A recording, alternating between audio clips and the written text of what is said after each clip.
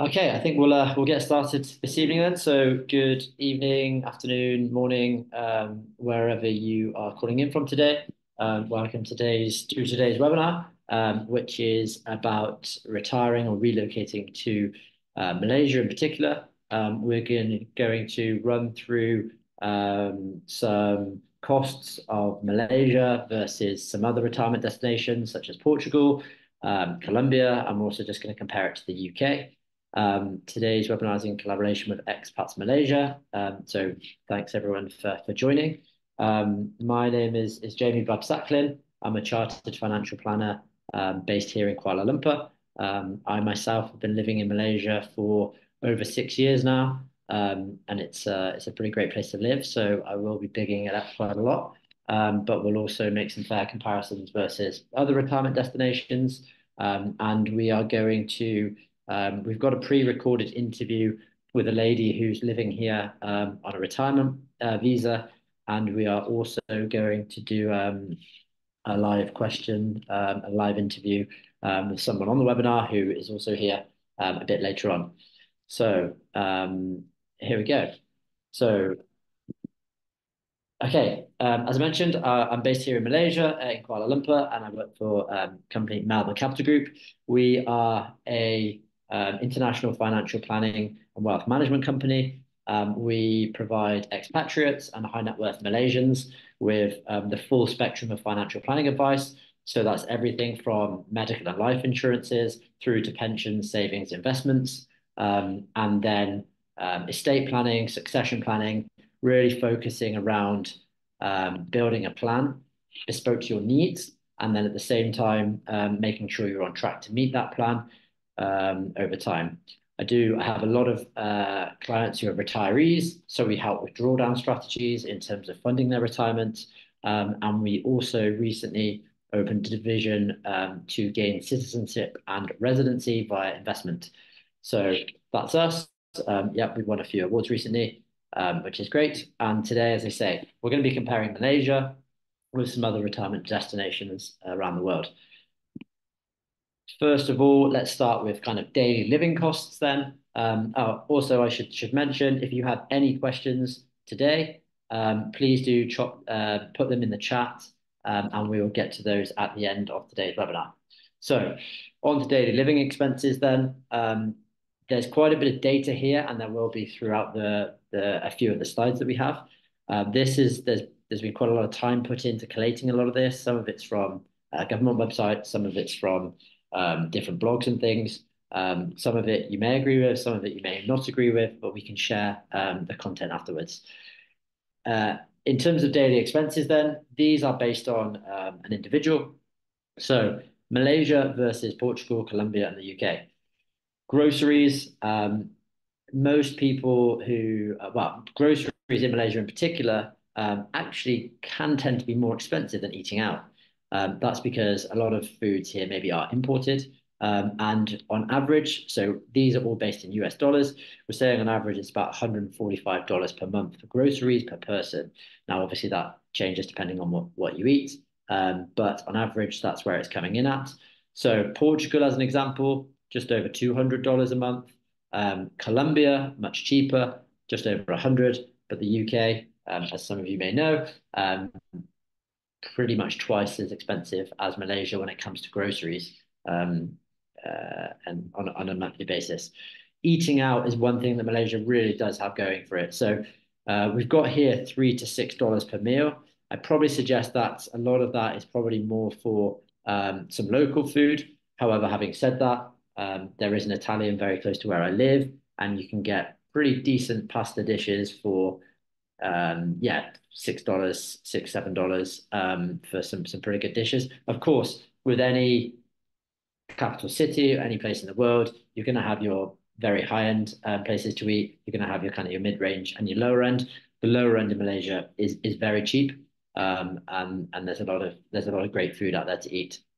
Comparing that to say Portugal, um, you're looking at more than doubling your cost, or at the higher end, it's quite a bit quite a bit more. Colombia is probably similar to Malaysia um, in terms of food and eating out, um, different types of food, obviously. And the UK, um, I mean, I went back a few weeks ago. um, 19 to 76 dollars sounds about right, I would say. Um, I don't think you can. Uh, um, I mean, I think I spent about 20 pounds before I walked out the airport buying a, a Greggs and a coffee and, and paying for uh, to get out of the um, to get out of the car park.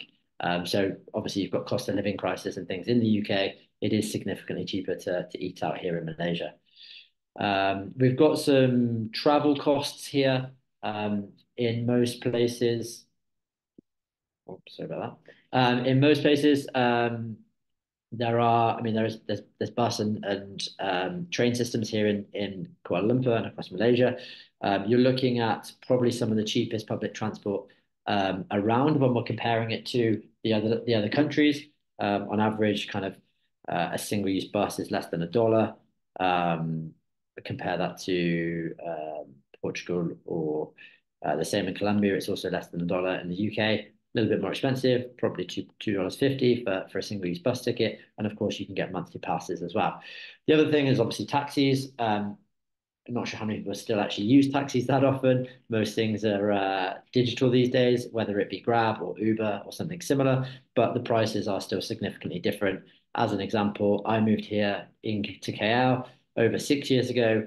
The price of getting a Grab um, from the airport to the city centre is still 65 ringgit, which is about 15 or 16 dollars for an hour's journey. That's been the same um, for the last six years. Um, and the costs of uh, the cost of taxis um, is is going to be slightly higher. But when we compare that to other countries, it is significantly cheaper um, here in Malaysia versus other places.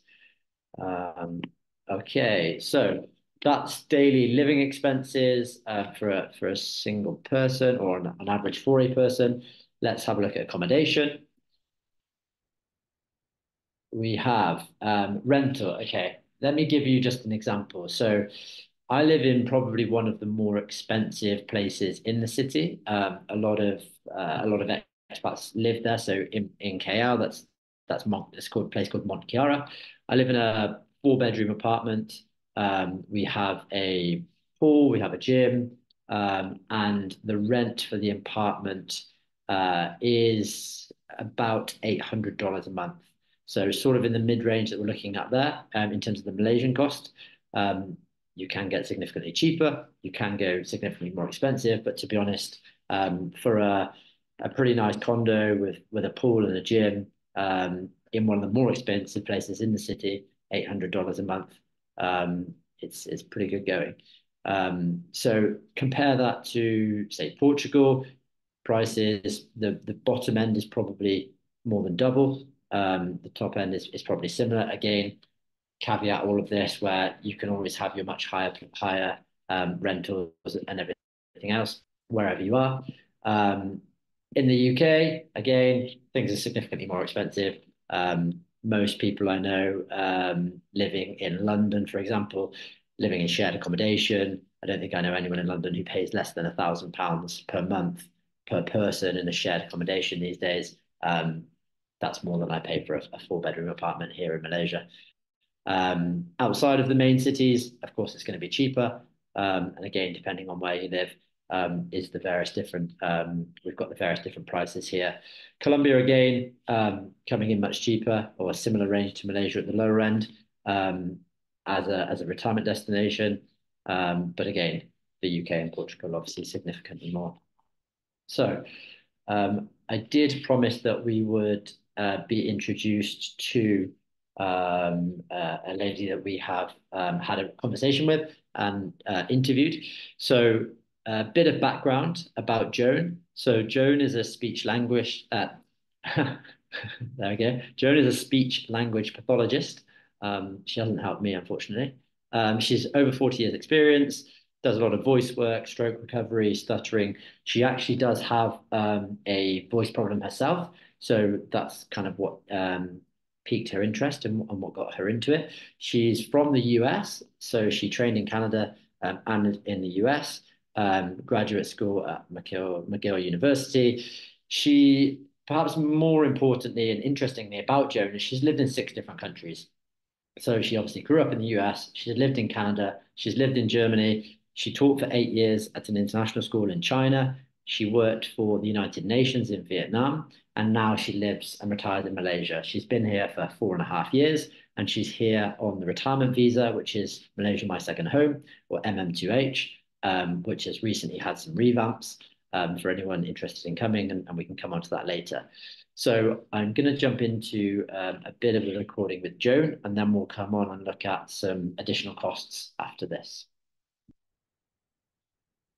How does Malaysia compare for rent, eating out? Uh, I would say Malaysia is substantially best uh, in terms of cost value ratio. So, I mean, you're the expert on things like taxes, okay? Mm. But in China, um, the taxes on my salary went, the school paid them. We never even saw them.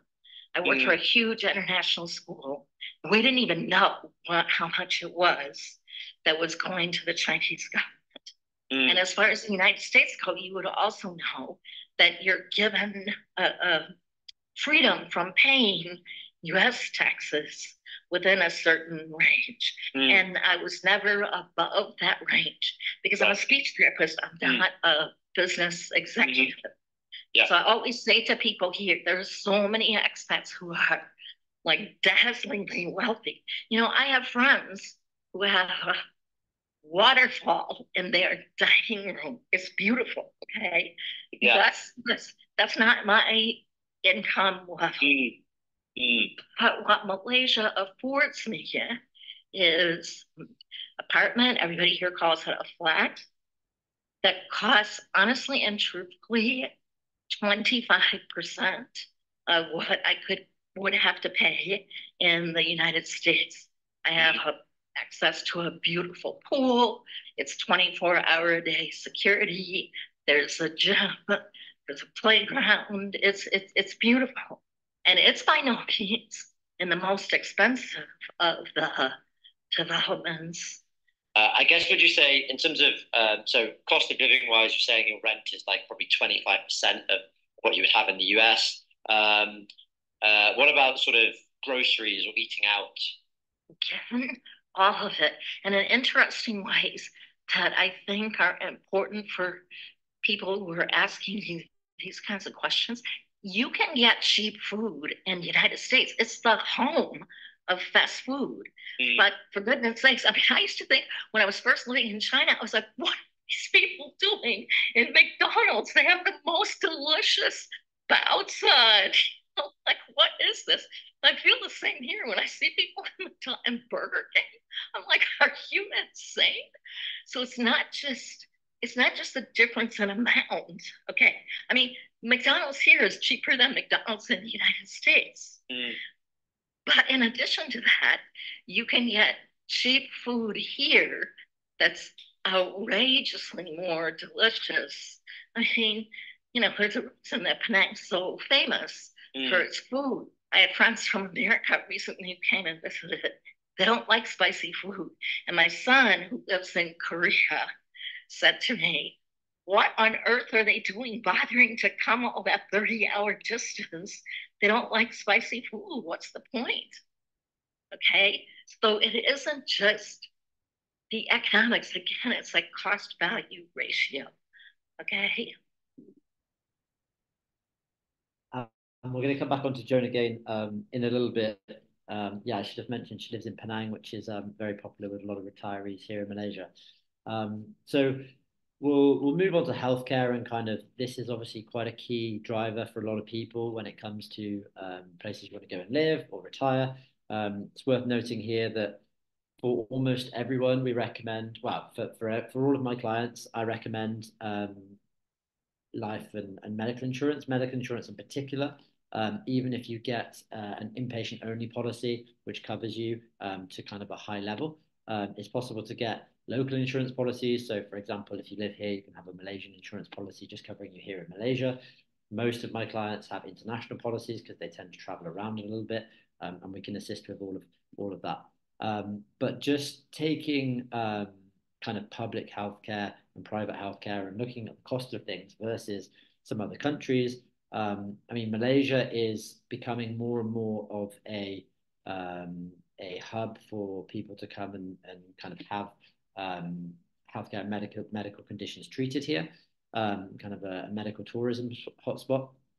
Singapore's just down the road, an hour flight away, um, but prices in Singapore are some of the highest in the world. So you've kind of got the US, Singapore, China, um, and Hong Kong when it comes to healthcare um, and medical care costs that tend to be the highest in the world. Obviously, if you are from a country, then you have generally you have free healthcare. So in the UK, obviously you've got the, the NHS, free to anyone living and residing in the UK.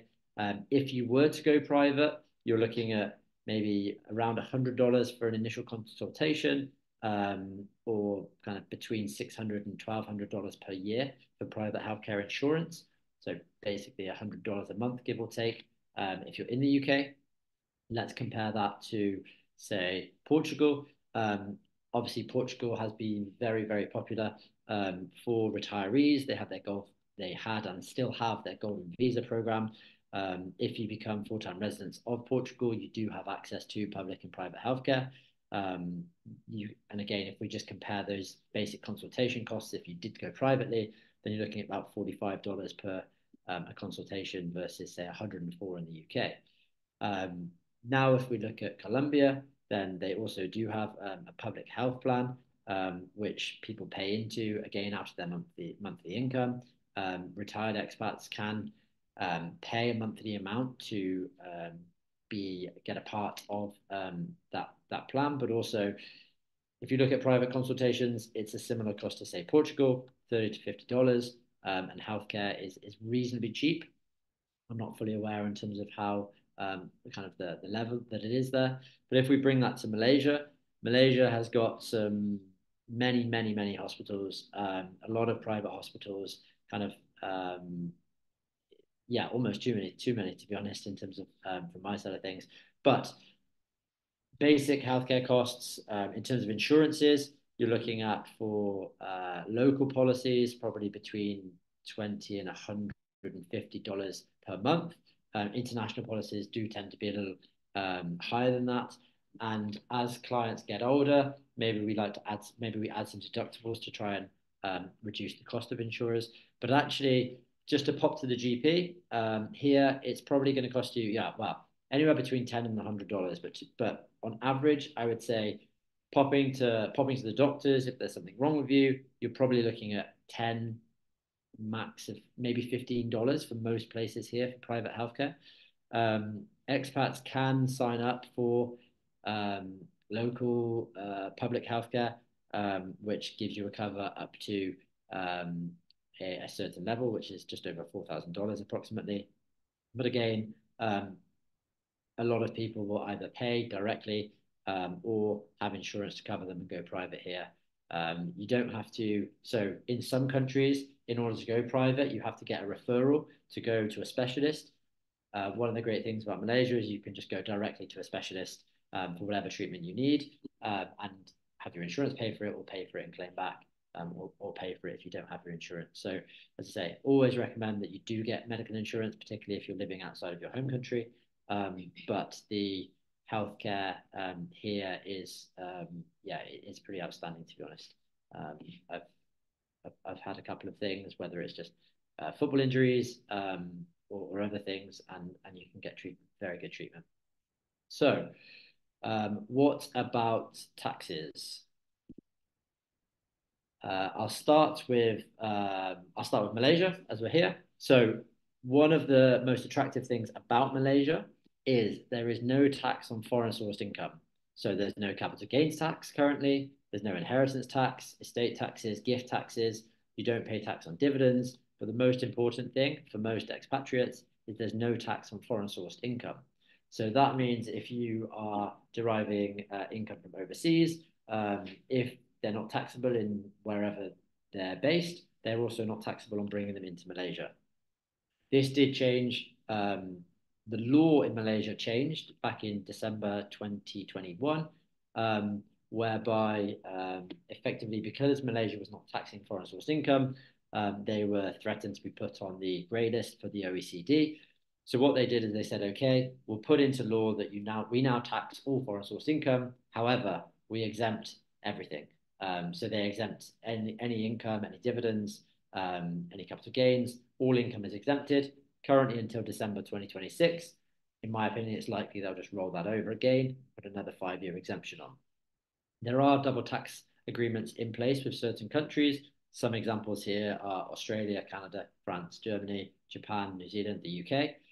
A very interesting point is that let's say you're British and you live here in Malaysia and you have um, a, a UK pension as an example, you can claim, uh, because of the double tax agreement, you can claim to have your pension paid out gross of tax in the UK. When you bring that into Malaysia, the pension is in payment. Malaysia doesn't tax foreign sourced income. So effectively, that is tax free income. Um, there is a note here. So if you're not a resident in Malaysia and you have Malaysian income, they do charge a flat rate of 30% on taxes, but that's only Malaysian sourced income. So all foreign income is exempted. Um, let's compare that to Portugal. Now, again, um, Portugal's golden visa has changed recently. Uh, they used to have the NHR program, um, which had, had had a lot of tax exemptions. I know a lot of people are still in that scheme, um, but the new scheme doesn't include that. They've closed their non-habitual residency program. So in Portugal, non-residents are taxed flat rate of 25%. Um, they do have capital gains tax, 28%. Um, and if you own property in Portugal, you have to pay um, some property taxes. Um, in Colombia, so much cheaper place, uh, well, one of the cheaper places to live again. Um, tax residents do pay income tax on income from inside and outside the country at a, at a, a rate of up to 35%. Um, again, they do have some double tax uh, treaties in place. Examples here are kind of Canada, France, Italy, Japan, Switzerland, and the UK again. Um, and then we have the UK. Um, so if you're in the UK, well, currently, as, as I'm sure most people may have heard, the elections are coming up. There's a lot of um, talk about what's going to happen to um, non-domiciled individuals living in the UK. But currently, if you reside in the UK, you pay uh, income taxes on everything from interest to income to dividends to everything else at rates between 20 and 45%. Um, it depends on where you're resident. Again, capital gains tax in the UK, 10 to 20%, depending on your um, income tax band. Um, that's 18% and 28% for property. So you pay additional tax for gains that you make on property. Um, and of course, they have inheritance tax up to 40%. Um, I myself personally specialize in a lot of inheritance tax planning. That covers a lot of people don't know, but if you're British and live abroad, and if you've lived abroad for a very long time, you inheritance tax may still apply to your worldwide assets. So if you've got assets that are in excess of £325,000 and you're British or you were born in the UK, um, give us a call because there could be some uh, potential inheritance tax implications for up to 40% of those assets. So uh, in terms of taxes, again, Malaysia is very tax efficient. Um, even assets that you have in the country, currently you pay no capital gains tax um, on investments in the country. Um, there are some taxes on gains on property, um, but again, um, and we'll come on to the, the new visa here, which actually, the new retirement visa, which actually requires you to buy property. Um, but other than that, no tax on foreign sourced income makes Malaysia a very attractive place when it comes to uh, retiring um, and living. So each of these countries we're looking at um, have got residency programs. Um, Malaysia have got a number of different um, work permits, visas that allow you to stay and live here. So, um, of course, you could just have a, um, a, an employment pass, but they have a 10 year, um, it's called a, a talent pass. So that's a 10 year visa, it, it, which you can apply for if you've lived and worked in the country for three years.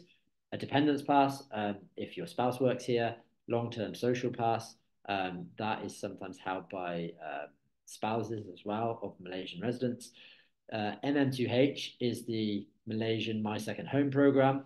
It's just been revamped. It was kind of closed for a while. They've now reopened it with three tiers.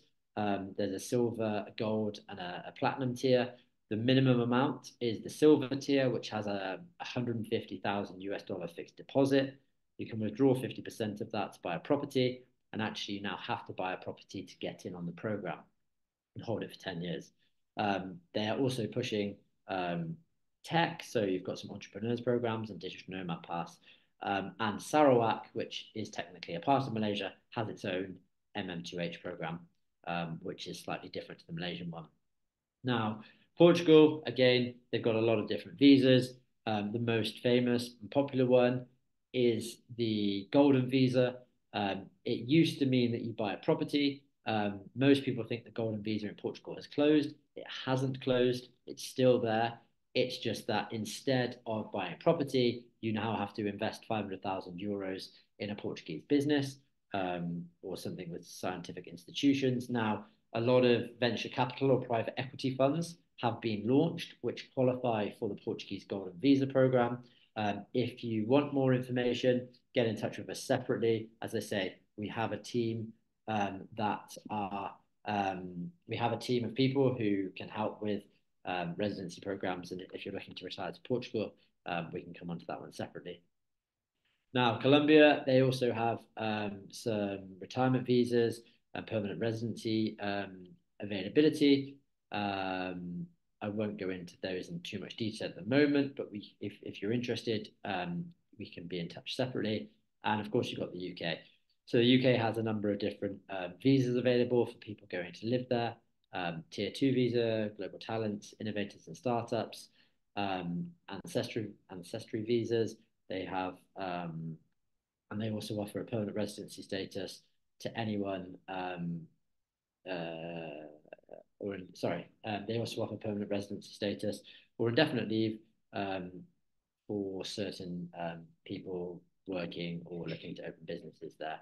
So again, um, there's been a, a, bit of uproar recently on, on Malaysia's program uh, in terms of MM2H. Um, we will be releasing a video tomorrow with just some updates that have happened. Um, it's likely there's going to be some tweaks again um, but it is open again. I've got clients that are already interested in, in moving here. Um, and if you are interested in moving here, we can help you set up investment structures to provide you with that tax-free income. Um, and also we can put you in touch with agents to help with the actual um, visa uh, processing. Um, so let's go back to Joan and hear a little bit more um, from her in terms of um, how how she's got on with with being on the MM2H visa and then following the video, we're going to, um, to interview someone live on this webinar. So as far as taxes here would go, I'm on an MM2H, the 10-year mm-hmm. visa, and I'm very lucky. I was in the penultimate group before they changed the regulations. It took me 2 mm -hmm. years instead of six months to get the MM2H the government kept changing and they switched it from immigration to tourism back to immigration, et cetera, et cetera. But I was lucky because they hadn't changed all of those income requirements. When I got to the part where I had to get the physical and make the deposit, I deposited the equivalent of 50,000 US dollars. Now that's dropped pathetically. It's now about 30,000 okay? But I still feel, you know, with the change in um, income um, mm. disparity, but I still feel Making a much better decision financially. Mm. Yeah, I mean, actually, the new rules that came out just a couple of days ago on MM2H, and now they've changed it. Now it's a three-tier system, um, and on the lower tier, which is silver, uh, it's 125,000 US dollars um, no income requirements, but that's the new uh, deposit um, level. So, what's the what would you say is your number one reason for why you've decided to retire in Malaysia, having lived in various different countries? Well, okay.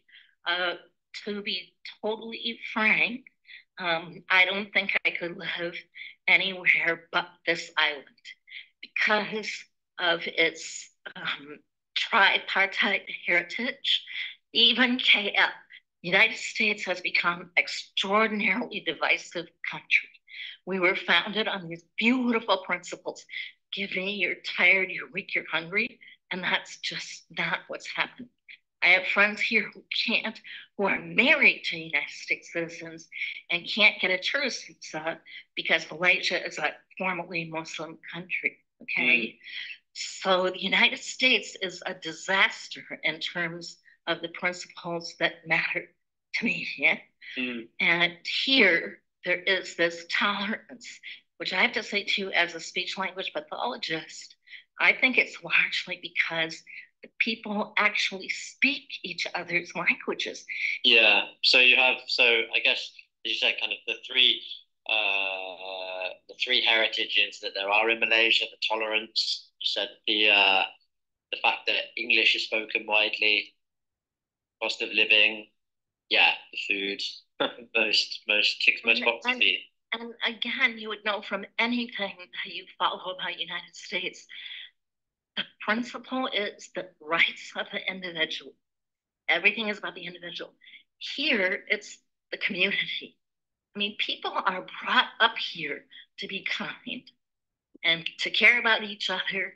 When I tried to get my second vaccination, I was already here on the island. And I went to the vaccination center and it was closed. And the grab driver said, Oh, I'm not dropping you off here. He said, You won't know where to go.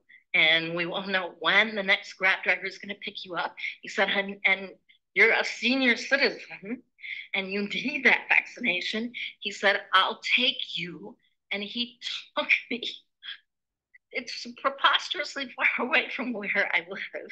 Yeah. To the huge convention center. And then he was like, okay, you don't speak Bahasa Melayu. I'll park the car and I'll take you in. Like, like yeah. in the United States, yeah. they were meanwhile stabbing Target employees for asking them to wear masks, okay? in terms of the MM2H, at first when they first changed the rules, everybody was like freaked out, and everybody said, "Okay, we're going to leave. We're going to move to Portugal. We're going to." Um, and I've just come to the realization that at my age, it's the last chapter. I'm 77. There are all sorts of there are all sorts of unforeseens that could happen in terms of health, mm. which is another reason that I think Malaysia is great, is that it's a medical tourism site.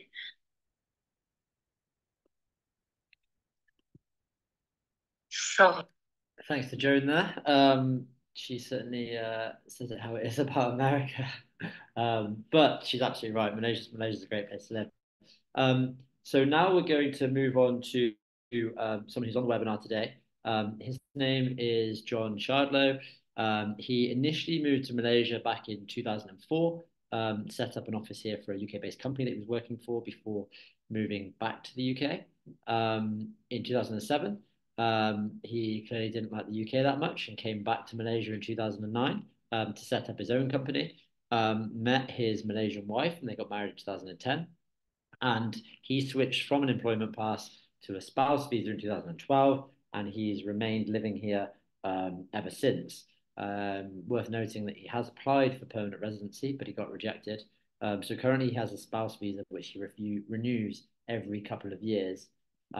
so John, good evening. How are you doing? Hi. Yeah, good. Thanks. Yeah. How are you? I'm I'm well, thank you. Um, yeah, thanks for thanks for coming on today um, and sharing some some insights on on living in Malaysia. And um, I suppose the first question for me would be, you you're obviously British, you're married to a Malaysian, you've got the options of living in the UK or Malaysia. What's what's the biggest drivers for you that that make you choose Malaysia over the UK? um, in terms of living and, and retiring, I suppose? Yeah, um, well, I think there's a few things. I mean, um, one is just I'm very comfortable living in Malaysia, and I, I'm not sure how comfortable my wife would be living in the UK. Um, but we do go and visit there, and we, you know, we enjoy our visits. But I'm just not sure that it's where we would want to settle uh, in the long term. But um, in terms of like why I like living here so much, I think there's a few things. Again, it's like um, it's a food paradise. I, I would say that Malaysia is a food paradise. Um, it's really, really nice food, and you, you know, like you said earlier, it's it's not very expensive to eat out. Um, what's, and, what's your favorite? What's your favorite foods out of interest to go for? Um, I really like beef rendang, um, and then my wife's from Sarawak, so I actually really like Sarawak laksa as well. Yeah. Um, which is yeah, really nice. Good choices. Good choices. Uh, and yeah, and then again, aside, aside from the food, you're saying. Um, and I'm also I quite enjoy scuba diving, so um, I there's some good places to go diving in this region. Um, so we've been, you know, we go to Sabah sometimes. Um, occasionally go to Thailand or Indonesia. So uh, yeah, good places to dive as well. again, uh, yeah. So I also started diving after moving here, and I think again it's some of the cheapest places in the world to go through your PADI courses and everything else, and the water's warm. Uh, I mean, I've been uh, since since traveling around the world to other places, and then I go in to try and dive somewhere else, and I'm like, how much does that cost, and what can I see? Not really that much. So yeah, again, it's pretty. Yeah, I was very happy to get rid of my dry suit when I left the UK, and I haven't dived in cold water since then. In fact, I I often don't even wear a wetsuit anymore. I just dive with with the gear and you know no wetsuit because it's so warm. Yeah. So I mean, I suppose um, yeah. Any, anything else in terms of the the positives, and then um, it would be remiss of us not to go over some frustrations as well. So we can maybe come over to those um, separately. Um, yeah. Um, well, I suppose the other thing is that you know, having come here to set up a company originally, and then you know I missed it because when I went back, and the reason I missed it so much was actually because of the people that I'd met when I first came here. Um, and so yeah, the people are very welcoming here. Um, I've made loads of Malaysian friends. In fact, I, you know, I hardly know anyone here that's from the UK, to be honest, apart from yourself and a few other people. um, but yeah, so I've made I've made lots of Malaysian friends um, over here. Yeah, it's great. Um, yeah, same as that. I, I, mean, I play I play football over here, um, and uh, yeah, our team is is there's a lot of Europeans, but we also have some Malaysians involved as well, and and yeah, it's definitely yeah. There's a lot of I guess there's also yeah activities wise you you say you go diving quite a lot. Um, I know a lot of people here do kind of hash running and like hashing in the jungle they call it. So like jungle running, trekking. Um, there's there's so much to do here. Um, I suppose yeah, as I said before, it'd be kind of remiss not to go over some frustrations. I mean, every place has them. Um, as obviously you applied for permanent residency and got rejected. What are some of your frustrations with with living here um, to make make people aware of ahead of ahead of coming here? Yeah, I think that is is probably the key one is the um, the difficulty of obtaining a permanent resident status. You know, even when you're married to a local, it's made extremely difficult. And uh, so, yeah, having to do and the paperwork involved in renewing the visa can be a lot, and having to do it every two years is quite a frustrating thing, especially because I'm also still working, so I have to do an extra step to allow me to work as well. Um, you know, I used to be on an employment pass, which is just a one-step process, um, and usually an agent will do it for you. Um, but since I moved on to the spouse visa, I have to kind of get the spouse visa renewed, and then there's another step to get the working uh, permission. So it's um, it's a bit of a complicated process, but be a lot nicer if I could get PR. But they really make it difficult here, um, and and obviously obtaining citizenship is basically almost unheard of. I would say um, almost, almost nobody ever gets Malaysian citizenship unless they were born here. Yeah, you have to. Uh, a, an interesting point on that is that in Malaysia they don't allow you to have dual citizenship or double or passports from two yeah. countries. So if you have a Malaysian passport, you're legally not allowed to have another passport. Um, so if you were to try and, I guess, gain citizenship, you'd have to give up your your current passport, um, mm. which is obviously not the case in some places. Um, yeah, interesting. You mentioned the kind of, I guess, bureaucracy, uh, sort of anything that you need to do um, in some of the government agencies, whether it be buying a car and, and going to JPJ to get the documents done. Always seem to you always seem to go somewhere with the documents that they've told you to bring, and then you turn up and they're like, "Oh, sorry, sir, you're missing this one." And then you go away, and then you come back again with that one. they're like, "Oh no, sir, not that one, the other one." Um, that thing, that that yeah. that, that that does happen quite a lot um, with various different things here. I'm sure you've experienced the same, having been here much longer than me. Um, yeah, yeah, that's right. I found um, it used to be quite easy to do the driving license. I mean, it was a bit hard to convert originally from the UK license to Malaysian one, but it's got got progressively harder to renew the driving license, and so I'm kind of dreading the next time I have to do it because I'm told they'll want a whole load of documents, almost the same ones I have to take to immigration just to get a driving license. But anyway, we'll see what happens in a in a year or so. Yeah, I think I think the conversion is back on again, um, which reminds me I need to do mine actually. Um, but yeah, so I, I, guess same with anywhere, isn't there? Places are there's going to be frustrations. Um, there's going to be uh, sorry, boss, cannot uh, response to uh, to certain things. Um, but also, as you say, people are are very friendly, very welcoming, um, and everything else.